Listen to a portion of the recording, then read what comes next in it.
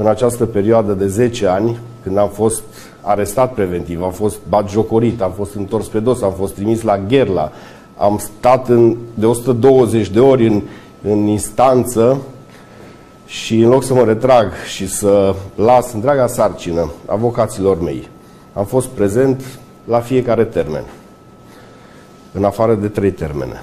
La 120 minus 3, 117. Am dat declarații în fața instanței și public, justificând fiecare pas pe care l-am făcut în ultimii 15 ani.